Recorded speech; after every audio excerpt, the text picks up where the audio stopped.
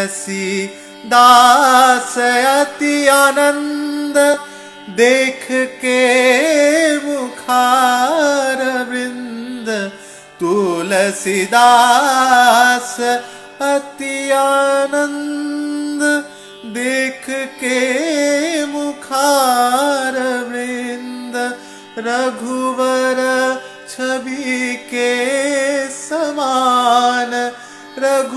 रघुवर छवि के समान रघुवर छवि बनिया ठुमक चलत रामचंद्र बाजत पैजनिया ठुमक चलत राम জয় নিতাই জয় গৌর কেমন আছো তোমরা সবাই? আশা করছি সবাই ভীষণ ভালো আছো। অনেক দিন পর আবার ভিডিও করছি। আর অনেক দিন পর তোমাদের সাথে দেখা, একটা শুভ দিনে, একটা ভালো দিনে। পাঁচশো বছরের সংঘর্ষ, পাঁচশো বছরের অপেক্ষা, কত বলিদান, কত আত্মত্যাগ, তারপর এই আজকের দিনটা। কেন আনন্দ করব না বলতে পারো? আমরা তো কারও কাছ থেকে কিছু ছিনিয়ে নেইনি। আমাদের কাছ থেকে ছিনিয়ে নেওয়া মন্দির আমরা ফিরে পেয়েছি। এই জয় সনাতনীদের জয়। কোনো বিশেষ রাজনৈতিক দলের নয়। এক সময় যখন রাম মন্দির ভেঙে ফেলা হয়, কত প্রাণ নেওয়া হয়েছিল, কত রামভক্ত তাদের রক্ত দিয়েছিল সেই মন্দির রক্ষার্থে। তার হিসাব কি কেউ রেখেছে? যাই হোক, এটি শুধু মন্দির নয় এটি আবেগ। এক সময় যে রামলালাকে মন্দির থেকে বিতাড়িত করা হয়েছিল, তিনি আজ সসম্মানে সেখানে অধিষ্ঠিত হয়েছেন। ভগবান সত্যযুগে শুধু রাবণ সংহারের জন্যই আসেননি। তিনি কিন্তু এসেছিলেন তার ভক্তদের উদ্ধারের জন্য, অহল্যার প্রতীক্ষার অবসান করতে সবরীর ভক্তি ও অপেক্ষার মান রাখতে। কিন্তু তিনি সারা জীবন কি পেয়েছেন? সেই সকল প্রজাদের কাছ থেকে যেই প্রজাদেরকে তিনি রামরাজ্য উপহার দিয়েছিলেন। সেই প্রজা কেবলমাত্র শ্রী রামচন্দ্রকে এবং মা সীতাকে দিয়েছেন অবমাননা, অপমান, বনবাস ও কলঙ্কের কালিমা। সারা জীবন তারা শুধু কেঁদেছেন। ভক্তের মান রাখতে গোলকের সুখ ঐশ্বর্য ত্যাগ করে তারা এই ধরাধামে এসে কত কষ্টই না ভোগ করেছেন। কিন্তু তার দাম আমরা আজও কি দিতে পেরেছি? শ্রী রামচন্দ্রকে শুধু মন্দিরে স্থাপন করলেই কিন্তু হবে না। শ্রী রামচন্দ্রকে অধিষ্ঠিত করতে হবে আমাদের জীবনে, আমাদের হৃদয়ে। জানো রাম কথা আমাদের জীবনে সঠিক পথে চলতে শেখায়। গৌর কথা আমাদের ভালোবাসতে শেখায় এবং শ্রীমদ্ ভাগবত কথা আমাদের শেখায় কীভাবে মৃত্যুকে তুচ্ছ করতে হয়, কীভাবে মৃত্যুকে জয় করে মৃত্যুঞ্জয় হতে এই মন্দিরে শ্রী রামচন্দ্রের পুনঃআগমনের যে উন্মাদনা সমগ্র ভক্তের মধ্যে তৈরি হয়েছে না, তা যেন এক মাস পনেরো দিন পর থিতিয়ে না যায়। এই ভক্তিরূপ কমল যে প্রত্যেক ভক্তের হৃদয়ে প্রস্ফুটিত হয়েছে, তা যেন শুষ্ক না হয়ে যায়। তা যেন সতত, সতেজ ও সুগন্ধি মণ্ডিত থাকে। এই সুগন্ধ যেন সকলের জীবনকে সুন্দর থেকে আরও সুন্দরতর করে তোলে। অনেকের মনেই প্রশ্ন আসছে, রামচন্দ্র কি এতদিন ভক্তের হৃদয়ে ছিলেন না? তার কি এতদিন পুজো হতো না? তাহলে নতুন করে এত উন্মাদনা কেন? দেখো, শ্রী রামচন্দ্রের সাথে আমাদের সম্পর্ক আজকের না, আমাদের সম্পর্ক সেই রামযুগ থেকেই। আমাদের গৌরীয়দের কাছে মুরারিগুপ্ত সাক্ষাৎ শ্রী হনুমানের অবতার এবং আমাদের কাছে আমাদের গৌরচন্দ্রই জানকী বল্লভ শ্রী রামচন্দ্র। আমরা আমাদের মহামন্ত্রে সর্বদা গাই, হরে রাম হরে রাম রাম রাম, হরে হরে। তাহলে আচ্ছা বাংলায় ছড়িয়ে আছে পাঁচশো বছরেরও বেশি পুরাতন কত কত রাম মন্দির। তোমরা নবদ্বীপ বা শান্তিপুরে গেলে অনেক অনেক পুরনো রাম মন্দির বা রামজির যে বিগ্রহ, সেবা, সেগুলো দেখতে পাবে। ভগবান শ্রী রামচন্দ্র আমাদের কাছে নতুন নয় তার সাথে আমাদের টান বহু পুরাতন। আমাদের ভক্তদের হৃদয়ে তিনি সদা সর্বদা বিরাজিত।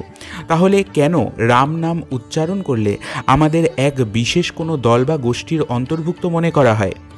কেন বিশেষ কোনো দল বা গোষ্ঠীর মানুষ নিজেদের ভগবানের নাম উচ্চারণ করতে কুণ্ঠিত হচ্ছেন? ভগবান শ্রী রামচন্দ্র তো কারও একার নয়, তিনি সবার। তিনি যে শুধু সনাতনীদের তাও নয় নিজের ধর্ম সংস্কৃতিকে ভালোবাসা, সম্মান ও শ্রদ্ধা করা আমাদের কর্তব্য। কিন্তু নিজেদের ধর্ম বা সংস্কৃতিকে ভালোবাসা মানেই আমরা অন্যদের সংস্কৃতি বা ধর্মকে ছোট করছি তা তো নয়। সবাইকে সমান সম্মান দেওয়ার চেষ্টা করছি আমরা। আমাদের সাথে তো কারও কোনো হিংসা, দ্বন্দ্ব কিছুই নেই। আমরা যে স্থানে জন্মাই, যে স্থানে বেড়ে উঠি, সেই স্থানের সাথে আমাদের কত স্মৃতিই না জড়িত থাকে। আমাদের কাছে আমাদের জন্মস্থান স্বর্গ সমান তাহলে ভগবানের বেলায় তা ব্যতিক্রম কেন হবে? নিজের জন্মস্থান থেকেই তাকে বিতাড়িত করা হয়েছিল।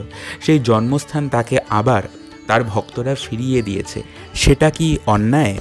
বাইশ তারিখে রামলালার প্রাণ প্রতিষ্ঠা হবে, রামচন্দ্রের অযোধ্যায় পুনরাগমন ঘটবে, এই কথাটি শুনেই মনে প্রথম ইচ্ছে জেগেছিল প্রদীপ প্রজ্বলন করার। কারণ দীপাবলি আমরা শ্রী রামচন্দ্রকে স্মরণ করেই পালন করি। তাহলে আবার এই সুযোগ পেয়ে কি করে তাহারাই তাই না? পরে শুনলাম আমাদের প্রধানমন্ত্রী সেই আবদার দেশবাসীর কাছে রেখেছেন। শুনেই সত্যি খুব ভালো লাগল।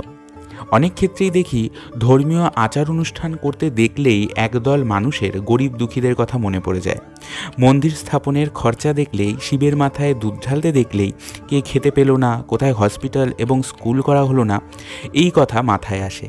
তারাই আবার নিজেদের এলাহি জীবনযাপন করতে গিয়ে কত অর্থ উড়িয়ে বেড়ায়।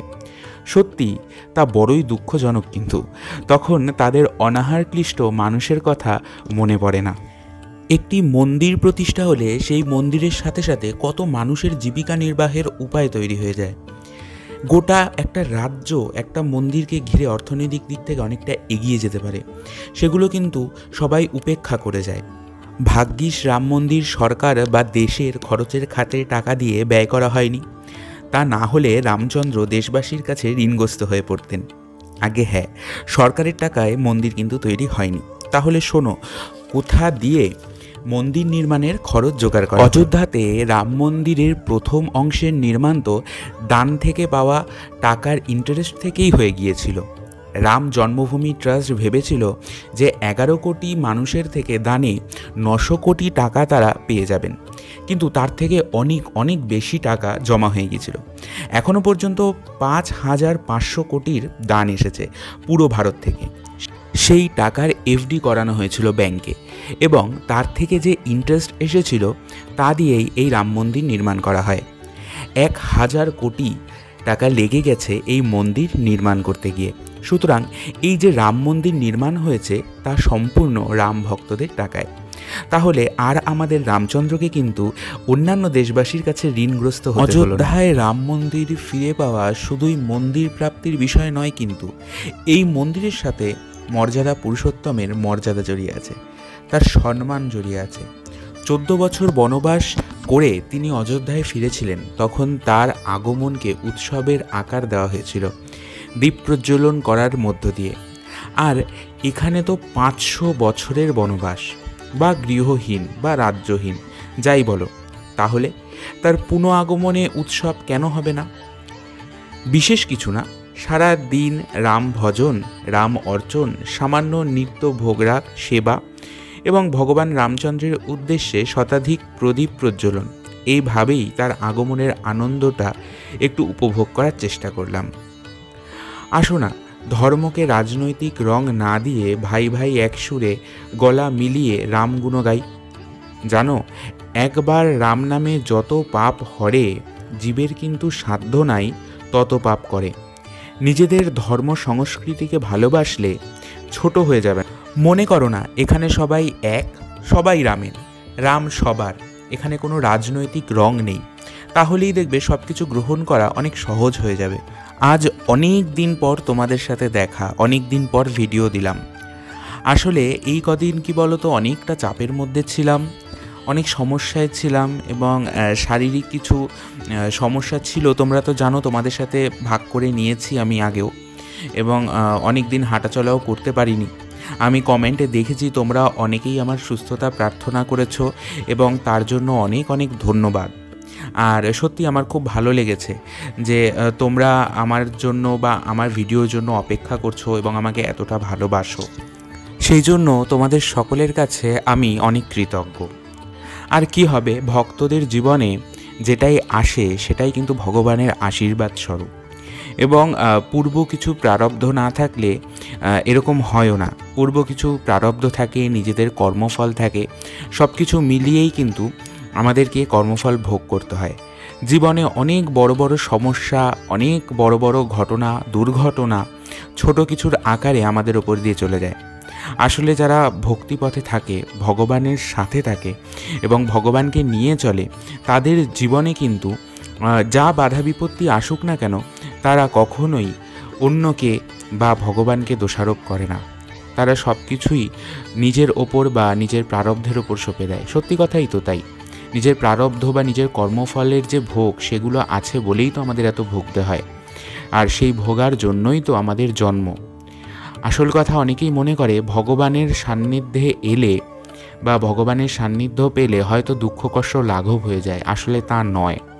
দুঃখ, কষ্ট যেরকম থাকে সেটা থাকে, কিন্তু সেটাকে সহ্য করার ক্ষমতা ভগবান দিয়ে দেয়। দেখো, এখানে ভাই আর মা ছাদে উঠেছিল প্রদীপ আর মোমবাতি দিতে।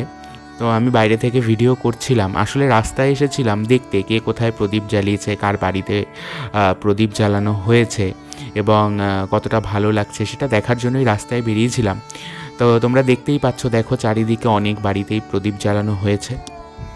চারিদিকেই প্রদীপ প্রজ্বলন করা হয়েছে, চারিদিকে ভগবানের নাম গান হচ্ছে, আর সবাই আনন্দ করছে। এই সমস্ত দেখে সত্যি একটা উৎসবের অনুভব হচ্ছিল এবং মনে হচ্ছিল সত্যিই যেন আমাদের ঘরে ঘরে ভগবান রামচন্দ্রের প্রবেশ ঘটেছে। সত্যিই তো তাই, সত্যি বলছি কেন? সত্যিই ভগবান রামচন্দ্রের প্রবেশ ঘটেছে এবং প্রত্যেকের ঘরে ঘরে প্রস্তুতি আমাদের হয়ে গিয়েছে। আসলে সবাই সন্ধ্যা থেকেই প্রস্তুতি নিয়েছে প্রদীপ প্রজ্বলন করার। আমি হয়তো শেষের দিকে প্রদীপ প্রজ্বলন করার যে প্রিপারেশনটা সেটা করতে একটু দেরি হয়ে গেছে। তো যাই হোক, দেখো এখানে ওপরে মা আর ভাই প্রদীপ প্রজ্বলন করছে। আমি আর এবং তোমাদের দিদিভাই নিজেই প্রদীপ প্রজ্বলন করছিলাম। দেখো, এখানে আমি প্রদীপ ধরিয়ে দিচ্ছি। আর সত্যি বলতে প্রদীপ জ্বালানোর পর যেরকম সুন্দর লাগছিল পুরো বাড়িটা মানে দেখার মতো।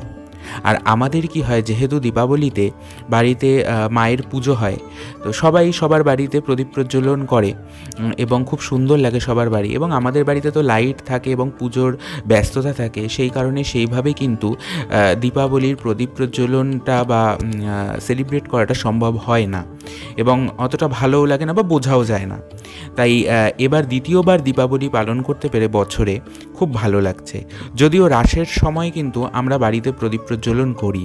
কারণ প্রত্যেক বৈষ্ণবের কাছে বা প্রত্যেক ভক্তদের, বৈষ্ণব বা গৌরীয় ভক্তদের কাছে কিন্তু রাস পূর্ণিমা হচ্ছে দেব দীপাবলি। তো সেই কারণে কিন্তু রাস পূর্ণিমাতে সকলে, সকল ভক্ত এরকমভাবেই প্রদীপ প্রজ্বলন করে। আশা করছি প্রত্যেক ভক্তই কিন্তু বাড়িতে প্রদীপ প্রজ্বলন করেছ তোমরা আমাদের ভগবান শ্রী রামচন্দ্র যে যাই বলুক না কেন বা যে যেইভাবেই দেখুক না কেন, আমাদের গৌরীও যারা আছো তাদের কাছে তো ভগবান রামচন্দ্রের জন্য একটা আলাদা জায়গা আছেই। আমার মনে হয় গৌরীয় প্রত্যেক ভক্তই নিজেদের ঘরে, দেবগৃহে দীপদান করেছ এবং আমাদের গৌরচন্দ্র যিনি কিনা আমাদের কাছে জানকী বল্লভ শ্রী রামচন্দ্র এবং আমাদের মুরারি গুপ্তের রামচন্দ্র। তো সেই অনুযায়ী আমাদের গৌরকে অনেক অনেক ভালোবাসা দিয়েছ। আমাদের গৌর অবতার তার যে রূপ সত্য যুগের শ্রীরামচন্দ্র, তার জন্মস্থানে তিনি আবার পুনর্বার প্রতিষ্ঠিত হয়েছেন স্বমহিমায়। তার মর্যাদা তিনি ফিরে পেয়েছেন, তা, তিনি সসম্মানিত হয়েছেন। এর থেকে আমাদের মতো সনাতনীদের কাছে আর কি চাওয়ার থাকতে পারে, কি আনন্দের দিন থাকতে পারে? তাই খুব সাধারণভাবেই নিজেরা, নিজেদের যে ধর্মের জয় বা নিজেদের যে ভক্তির জয়, সেটাকে যে আমরা এইভাবে উদযাপন করতে পেরেছি, এইভাবে পালন করতে পেরেছি, এটা কিন্তু আমাদের কাছে অনেক অনেক সৌভাগ্যের।